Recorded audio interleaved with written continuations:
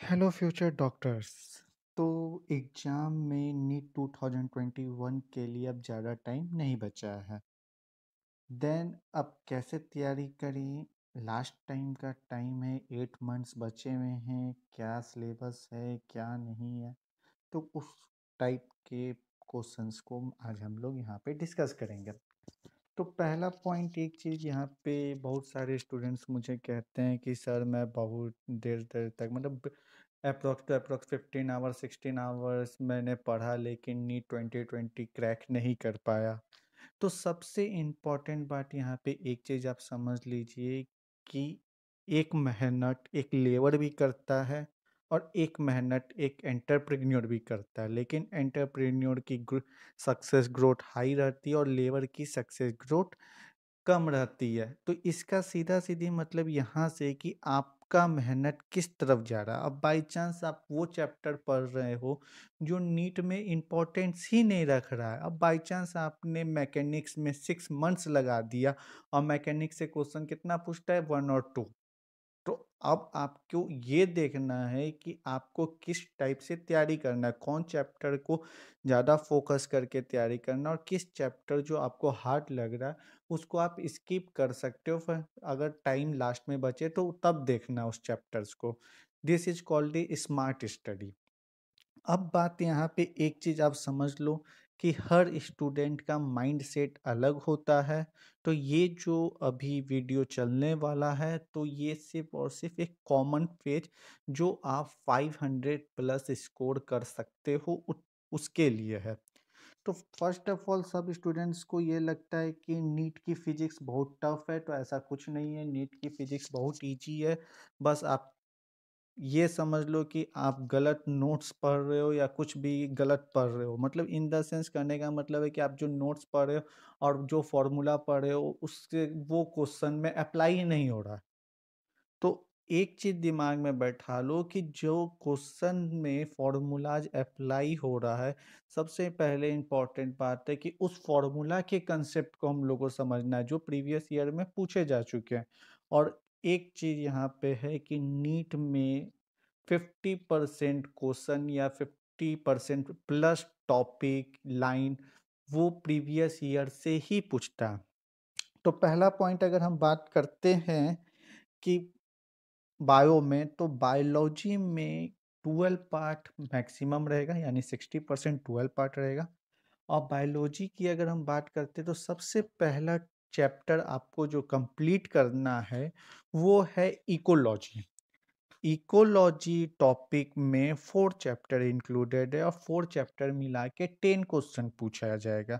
लेकिन यहाँ पे अब मार्केट में क्या गलती होता है कि इकोलॉजी है लास्ट यूनिट और इकोलॉजी की लास्ट यूनिट होने के कारण लास्ट में टीचर्स उसके नोट्स दे देते हैं और कहते हैं कि इस नोट्स को पढ़ लो और हो जाएगा।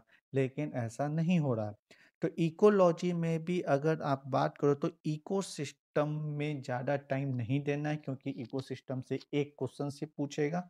सबसे ज़्यादा क्वेश्चन अगर हम बात करें तो ऑर्गेनिज्म एंड पॉपुलेशन से पूछा जाएगा एंड इन्वायरमेंटल इशूज से पूछा जाएगा। अगर फिर इसके बाद सेकेंड में आए तो बायोटेक्नोलॉजी आएगा। तो बायोटेक्नोलॉजी पार्ट आपका सेवन क्वेश्चन कवर करेगा, ठीक है? देन बात करें तो ह्यूमन रिप्रोडक्शन आपका टू क्वेश्चन कवर करेगा एंड प्लांट रिप्रोडक्शन आपका two two three question cover करेगा। रिप्रोडक्टिव हेल्थ से वन और टू क्वेश्चन पूछा जाता है। यानी अगर रिप्रोडक्शन चैप्टर की भी बात करें तो फोर्थ चैप्टर मिला के आपका total two total approx question पूछेगा eight to nine question. Then आपका आता है जेनेटिक्स एंड इवोल्यूशन में जेनेटिक्स एंड इवोल्यूशन बहुत इंपॉर्टेंट टॉपिक है। ये आपका करीब टू करीब ट्वेल्व क्वेश्चन कवर करेगा। लेकिन यहाँ पे एक चीज़ दिमाग में बैठा लीजिएगा chapter number six molecular basis of inheritance और इकोलॉजी के साइंटिस्ट आपके हैंड टिप्स में याद होने चाहिए। क्योंकि अगर साइंटिस्ट पूछता है तो मेनली जेनेटिक्स और इकोलॉजी के ही साइंटिस्ट का नाम पूछा जाता है। देन अगर हम बात करें strategy for enhancement in food production की तो ये इंपॉर्टेंट चैप्टर नहीं है। इससे मे भी कभी कभी एक क्वेश्चन पूछ देता है। Microbes in human welfare important topic है एंड ह्यूमन टेन डिज़ीज़ से आपको थ्री क्वेश्चन पूछे जाएँगे और इसमें एक क्वेश्चन ज़रूर पूछा जाएगा एक्टिव एंड पैसिव इम्यूनिटी से। तो एक्टिव एंड पैसिव इम्यूनिटी आपका सबसे इम्पोर्टेंट टॉपिक में आएगा। देन अगर हम लोग अलेवन की पार्ट की बात करें तो अलेवन के पार्ट में आपका सबसे इम्पोर्टेंट चीज़ जाएगा ह्यूमन फिजियोलॉजी। वो कॉमन सेंस की बात है कि अगर हम एमबीबीएस करने वाले हैं आगे तो ह्यूमन फिजियोलॉजी सबसे इंपॉर्टेंट टॉपिक में जाएगा। इसका करीब टू करीब आपको क्वेश्चन पूछा जाएगा फिफ्टीन। ठीक है? और इसमें आप का सबसे खराब टॉपिक अगर हम बात करें या नीट के लिए कम इम्पोर्टेंस वाला टॉपिक बात करें तो वो है लोकोमोशन एंड मूवमेंट। देन उसके बाद सबसे इम्पोर्टेंट चैप्टर आता है सेल। सेल का यूनिट आपको total two total ten question cover करता है सेल और सेल साइकिल और बायोमोलिक्यूल। अब यहाँ पे ये टेन क्वेश्चन इसलिए कवर कर रहा है थ्री चैप्टर्स मिला के क्योंकि ये बॉटनी का भी पार्ट है और जूलॉजी का भी पार्ट है। अब आता है अगर हम लोग डाइवर्सिटी का बात करते हैं तो बायोलॉजिकल क्लासिफिकेशन सबसे इम्पोर्टेंट चैप्टर होगा क्योंकि इससे क्वेश्चन पूछे जाएँगे four to five. Plant kingdom से two two three, animal kingdom से क्वेश्चन रहेगा आपको टू। अगर हम स्ट्रक्चरल की बात करें, यूनिट टू की बात करें तो इसको आप एक बार स्किप भी कर सकते हैं, क्योंकि ये लास्ट टाइम है। अगर बायो का अलेवन एंड ट्वेल्थ पूरा कंप्लीट हो जाता है, तब यूनिट टू को आपको टच करना है, क्योंकि यूनिट टू मिला के आपसे ओनली थ्री क्वेश्चन पूछे जाएँगे, और ये लंबा चैप्टर है। प्लांट फिजियोलॉजी एकदम लास्ट में आपको पढ़ना है, क्योंकि सबसे बोरिंग टॉपिक है ना पूरे अलेवन एंड ट्वेल्व का सबसे लेंदी टॉपिक है। एंड इसकी बात करें तो अगर आपको फाइव चैप्टर मिला के फाइव क्वेश्चन पूछ रहा है और ये आपका टू मंथ्स ले रहा है तो इस टॉपिक को एकदम लास्ट में देखना है कि अगर बाई चांस मेरे पास टाइम बचता है तो हम प्लांट फिजियो पे कवर करेंगे। एक चीज़ दिमाग में रख लीजिएगा 90 क्वेश्चन में से 85 क्वेश्चन एनसीईआरटी से लाइन टू लाइन पूछा जाएगा। तो बायोलॉजी के लिए आपको एनसीईआरटी ही प्रीफेयर करना है। बुक्स की अगर हम बात करते हैं, देन एनसीईआरटी से आप थ्योरी पढ़ के सबसे पहला काम आपका रहेगा प्रीवियस ईयर क्वेश्चन नीट और ए आई के आपको लगा लेने हैं।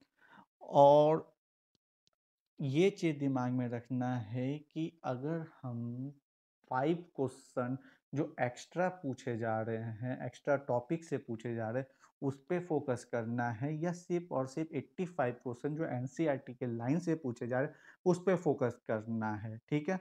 तो अगर आप डाइवर्सिटी पढ़ रहे हैं तो मार्केट में सब टीचर आई नो डैट बड़े बड़े इंस्टीट्यूट से लेके हर जगह में आपको एन e के बाहर बहुत सारे चीज़ पॉइंट्स पढ़ाए जाएँगे। लेकिन उन पॉइंट्स को आप रट्टा मारते रह जाओगे, लेकिन नीट में उससे क्वेश्चन नहीं पूछा जाएगा। अब आपको ये तय करना है कि आपको अपना नॉलेज बढ़ाना है अभी छः महीना में, या आपको नीट क्रैक करना है। नीट क्रैक करने के बाद आप जितना चाहो नॉलेज गेन कर सकते हो।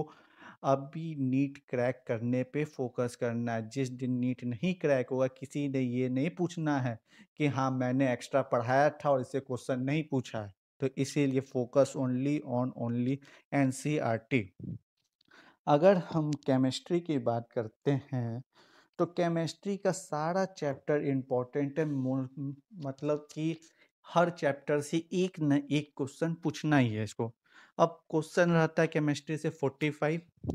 तो आपको एक चीज़ दिमाग में ये बैठा लेना है कि जो बच्चे फिजिक्स से डरते हैं कि हाँ फिजिक्स ने, फिजिक्स फिजिक्स फिजिक्स और दिन भर फिजिक्स पढ़ते हैं तो ये क्यों कर रहे हो भाई लोग? मतलब कि अगर बायोलॉजी और केमिस्ट्री को इतना पक्का कर लो तो आपका approx to approx four fifty plus score तो आपको सिर्फ़ बायो और केमिस्ट्री देगा। तो फोर फिफ्टी को पहले अच्छा से करो ना। उसके बाद फिजिक्स पे फोकस करो। अगर केमिस्ट्री में बात करें तो थ्री चैप्टर जो मार्केट में स्किप कर दिया जाता है, थ्री टू फोर चैप्टर जो सिर्फ़ नोट्स दे के हटा दिया जाता है, उस फोर चैप्टर आपका स्कोरिंग चैप्टर है, जो थ्योरेटिकल बेस है, जिससे सिर्फ़ और सिर्फ़ आपको समझना है और क्वेश्चन लगा के आना, कुछ रटने वाला पार्ट से एग्जाम्पल्स है। तो वो फोर चैप्टर है आपको environmental chemistry chemistry in every life biomolecules and polymer ये फोर चैप्टर मिला के आपको क्वेश्चन पूछे जाएँगे फाइव। तो 45 क्वेश्चन में से फाइव क्वेश्चन स्कोरिंग चैप्टर से पूछे जा रहे हैं। सबसे इंपॉर्टेंट अगर हम बात करें तो पी ब्लॉक एलिमेंट है। तो पी ब्लॉक एलिमेंट वो भी क्लास ट्वेल्व का पार्ट है जिससे फाइव टू सिक्स क्वेश्चन पूछे जाएँगे। अगर अब बच्चे को डर लगता है ऑर्गेनिक केमिस्ट्री से, अब मार्केट की स्थिति समझो क्यों ऑर्गेनिक केमिस्ट्री से डर लग रहा? मार्केट में टीचर्स क्या करते हैं कि क्लास 11 में ऑर्गेनिक जो बेसिक ऑर्गेनिक केमिस्ट्री जिसका चैप्टर है, वो उसको टू टू थ्री मंथ्स लगा देते हैं। अब टू टू थ्री मंथ्स लगाने के बाद क्वेश्चन उस चैप्टर से पूछता है, एक और बच्चे को हो जाता है डर कि हाँ इतना सब चीज़ पढ़ने के बाद क्वेश्चन लगता नहीं। अब जब बारी आता है, alcohol, phenol, ether, carboxylic acid amines ये सब की बारी आती है तो फिर बच, टीचर बोलते हैं कि हमने बेसिक ऑफ़ ऑर्गेनिक केमिस्ट्री में ये ये पॉइंट क्लियर कर लिया। जिस कारण से वो स्किप हो जाता है और यहाँ पे क्वेश्चन नहीं लगता है। और फिर बाद में आप एमाइंस चैप्टर के नोट्स पढ़ के अगर क्वेश्चन सॉल्व करने जाते हो तो आपसे एक भी क्वेश्चन नहीं लगता। तो यहाँ पे आपको ये देखना है कि ऑर्गेनिक केमिस्ट्री में आपको first of all amines carboxylic acid, ये सब, अल्कोहल, फेनॉल, एथर, ये सब पे फोकस करना है। क्लास इलेवन का some basic principle of organic chemistry से नहीं करना। सेकेंड चीज़ आता कि बच्चे दिन रात एकदम मैकेनिज्म पढ़ने में लग जाते हो, भैया, आप आपको ग्रेजुएशन नहीं कंप्लीट करना है आपको जेई मेंस और जेई एडवांस नहीं क्रैक करना, आपको क्रैक करना है नीट। नीट में मैकेनिज्म से क्वेश्चन नहीं पूछता है उससे सिर्फ़ पूछेगा कि रिएक्टेंट क्या था, प्रोडक्ट क्या था, अगर इस दो कंपाउंड में से कंपाउंड ए है तो कंपाउंड सी का नाम दे देगा तो कंपाउंड बी क्या था, बस इतना ही पूछ पूछने वाला, सिर्फ़ रिएक्शन पूछने वाला, मैकेनिज्म नहीं पूछने वाला। फ़िज़िकल केमिस्ट्री की अगर हम बात करते हैं तो फ़िज़िकल केमिस्ट्री में हर एक चैप्टर इंपॉर्टेंट है और केमिकल काइनेटिक्स से एक चीज़ हमेशा याद रखना, फ़र्स्ट ऑर्डर रिएक्शन का जो फार्मूला है के का, उससे हर साल एक क्वेश्चन पूछता है तो सीधा सीधी वो फार्मूला अप्लाई करो और क्वेश्चन सॉल्व करो। ठीक है? देन आता है मोल कंसेप्ट की, अगर हम बात करते हैं तो मोल कंसेप्ट में ज़्यादा दिमाग मत खपाओ, मोल कंसेप्ट क्या है ना दो महीना आपका ले लेगा और एक क्वेश्चन ही पूछेगा, वो भी कभी कभी पूछ देता है, अगर उसका मन करता है तो। प्रोडिक टेबल आपका इंपॉर्टेंट चैप्टर है, केमिकल बॉन्डिंग आपका इंपॉर्टेंट और ये आप देख सकते हो कि इनऑर्गेनिक एंड ऑर्गेनिक ज़्यादा इंपॉर्टेंट है as comparison to physical chemistry, ठीक है? अगर हम बात करते हैं अब फिजिक्स के तो फिजिक्स में अनफॉर्चुनेटली मुझे ये कहना पड़ेगा कि आपने अपना सिक्स मंथ मैकेनिक्स को दे के बर्बाद किया है। मैकेनिक्स बहुत टफ चैप्टर लगता है एलेवन का सबको, और क्वेश्चन इससे पूछते हैं बहुत कम। तो इस कारण से आपने मैकेनिक्स में इतना समय बर्बाद करने के बाद इलेक्ट्रोस्टेट में थ्री मंथ्स बर्बाद किया होगा, और इलेक्ट्रोस्टेट से भी क्वेश्चन पूछते हैं एक या दो। और ये सब चैप्टर लेंदी है और प्लस ये सब चैप्टर्स में बहुत बच्चों का ये रहता है कि कितना भी हम नोट्स पढ़ ले, कुछ भी कर ले, क्वेश्चन पे वो फॉर्मूला अप्लाई या वो कंसेप्ट अप्लाई नहीं होता है, हर क्वेश्चन में एक नया ही फॉर्मूला डेवलप हो जाता है। तो भैया आप लोग उस पर ज़्यादा फोकस ना करें और लास्ट टाइम पे जो मार्केट में चल रहा है कि मॉडर्न फिजिक्स और ऑप्टिक्स को लास्ट में उड़ा दिया जाता है एक दो मंथ में और सबसे इम्पोर्टेंट अगर फिजिक्स की बात करें तो आपको ऑप्टिक्स एंड मॉडर्न फिजिक्स है, जिसको मिला के टोटल क्वेश्चन पूछेंगे ट्वेल्व टू थर्टीन। अब ट्वेल्व टू थर्टीन क्वेश्चन को मार्केट में हवा में उड़ा दिया जाता है और एक दो क्वेश्चन के लिए आपको सिक्स मंथ से पढ़ाया जा रहा है। तो ये आप लोग को भी अपना रखना है कि फ़र्स्ट ऑफ़ ऑल आपको अभी ऑप्टिक्स क्लियर कंप्लीट करना है, देन मॉडर्न फिजिक्स कंप्लीट करना है। उसके बाद अलेवन का अगर बात करें तो कॉलिजन से एक क्वेश्चन पूछेगा ही पूछेगा। कॉलिजन का फॉर्मूला पे क्वेश्चन बेस्ड रहता है। फिर thermodynamics and gravitation, easy chapter है अलेवन का, वो उससे क्वेश्चन आपको टोटल फाइव टू सिक्स पूछेगा। इलेक्ट्रोस्टेट मैग्नेटिक एंड मैकेनिक्स, ये तीन चैप्टर चैप्टर को आपको लास्ट में पढ़ना है, जब तक आपका modern physics, optics, work power energy, gravitation and thermodynamics ये पाँच चैप्टर अच्छे से कंप्लीट नहीं हो जाते, तब तक आपको मैकेनिक्स, इलेक्ट्रोस्टेट एंड मैग्नेटिक नहीं छूना है। अब हम लोग बात करते हैं कि कौन सी बुक पढ़नी है। तो सबसे पहली बात कि आपको एन एक न एक बार फिजिक्स और केमिस्ट्री का रीडिंग डालना ही है। केमिस्ट्री का तो आप बार बार डालो, लेकिन फिजिक्स का एटलीस्ट वन टाइम आपको रीडिंग डालना है। अब आप कहोगे कि, भैया, numerical M C Q N C R T तो देता नहीं है तो ये आपकी गलत फहमी एन सी आर टी ने numerical and M C Q का बुक निकाला है, जिसका नाम है N C R T exemplar. जिससे हर साल twenty percent question N C R T exemplar से पूछे जाते हैं, जो कि कोई बच्चा मतलब मोस्टली अगर नीट एस्पिरेंट की बात करें तो टेन से ट्वेंटी परसेंट स्टूडेंट उस बुक को सॉल्व करते हैं। तो आपको सबसे पहला क्या करना है? N C R T then previous year question bank then N C R NCERT exemplar ये तीन जब तक बुक सारे चैप्टर के अगर आप क्वेश्चन सॉल्व नहीं कर लेते हो, तब तक दूसरे क्वेश्चन को टच नहीं करना। सेकेंडली, एनसीईआरटी के बाहर का कोई भी टॉपिक टच नहीं करना है आपको। अगर आप टच कर रहे हो तो भैया आपका नीट ट्वेंटी ट्वेंटी वन खतरे में है। तो डॉक्टर बनने के बाद आपको जितना है ना, नॉलेज लेना है, आप ले सकते हो।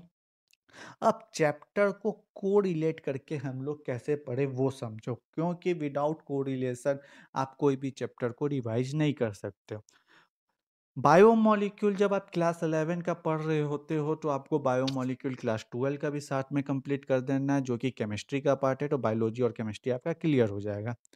सेकेंड चीज़ है कि अगर आप इन्वायरमेंटल केमिस्ट्री पढ़ रहे हो तो बायोलॉजी का क्लास ट्वेल्व का इन्वायरमेंटल इशू भी साथ में लेके पढ़ोगे तो वहाँ पे क्लियर हो जाएगा आपका। दोनों चैप्टर एक साथ कम chapter number two structure of atom और फिजिक्स का last chapter atom and nuclei को दोनों को साथ में लेके पढ़ोगे तो दोनों अच्छा से क्लियर होगा। ठीक है? क्योंकि आधा कंसेप्ट एटम एंड न्यूक्लियाई में और आधा कंसेप्ट स्ट्रक्चर ऑफ़ एटम्स में, ठीक है? अब बात हम करते हैं कि बायो फिजिक्स केमिस्ट्री तीनों को कैसे रिलेट करना बाई चांस अगर हम बात करते हैं कि अगर सेमाइनल प्लाज्मा में फ्रुक्टोज कैल्शियम पाया जाता है तो फ्रुक्टोज का उसी टाइम पे अगर हम स्ट्रक्चर ह्यूमन रिप्रोडक्शन में नोट कर लेते और फ्रुक्टोज के बारे में पॉइंट्स नोट कर लेते तो आपका पिछला चैप्टर भी रिवाइज होते चला जाएगा नया चैप्टर के साथ। तो ये चीज़ आपको देखना अगर हम प्रोटोजोन्स के प्रोटे, प्रोटोजोन्स के बारे में बात करें तो एंट एमोएबा हिस्टोलेसिया, जो क्लास ट्वेल्व का human and health and disease का पार्ट है तो उसको एक दूसरे से कोरिलेट कर सकते हैं। तो ये सब चीज़ आप आपको देखना है कि किस चैप्टर को किस चैप्टर से कोरिलेट। और मेरा नेक्स्ट वीडियो जो भी आ रहा है आपको लेक्चर्स का तो उसमें हर चैप्टर को मैं बताते जा रहा हूँ कि कैसे कैसे कोरिलेट करना है। और कुछ दिनों में एन बेस्ड क्वेश्चन भी अपलोड होना स्टार्ट हो जाएगा। अगर आपको स्टडी चार्ट बनवाना है कि किस दिन कैसे कौन से चैप्टर को पढ़े और आपका खुद का कैरियर का काउंसलिंग या मतलब इन द सेंस आपका स्टडी प्लानिंग, क्योंकि हर स्टूडेंट का अलग माइंड सेट होता है। कुछ स्टूडेंट को लिख के याद करने की आदत है, कुछ स्टूडेंट को रटने की आदत है, कुछ स्टूडेंट को समझने की आदत है। तो ये सब सब चीज़ को कैसे सॉल्व होता है, वो चीज़ हम लोग को अगर आपको देखना है तो नीचे कमेंट बॉक्स में आप लिख सकते हो। उसके बाद हम लोग एक दूसरे से टॉक करेंगे कि हाँ कि आप को कैसे कैसे पढ़ाई करना है, क्योंकि आपका सिलेबस अलग कंप्लीट होगा, दूसरे स्टूडेंट का अलग कंप्लीट होगा तो आपके सिलेबस के अनुसार अब कैसे तैयारी करना है नीट 2021 की? तो इस पर हम लोग प्लानिंग कर सकते हैं कि हाँ और एक चीज़ दिमाग में बहुत सारे स्टूडेंट को रहता है कि हाँ आज हम पढ़े, फिर तीन चार दिन के बाद वो हम भूल जाते हैं, या फिर बहुत बार ऐसा होता है कि एग्ज़ाम के टाइम में हम लोग पढ़ाई कर एग्ज़ाम में क्वेश्चन सॉल्व कर रहे हैं, लेकिन हमको ये मालूम है कि इस पेज का, इस पैरा का, ये लाइन का, ये वर्ड है, लेकिन वो वर्ड उसी टाइम पे माइंड से स्किप हो जाता है कंफ्यूज हो जाते हैं हम लोग। तो ये सब सब चीज़ क्यों होता है, कैसे होता है, ये सब हम लोग पर्सनल काउंसलिंग में बात करेंगे। अगर वीडियो पसंद आया हो तो नीचे लाइक का बटन है, लाइक पे क्लिक, सब्सक्राइब दी चैनल और उस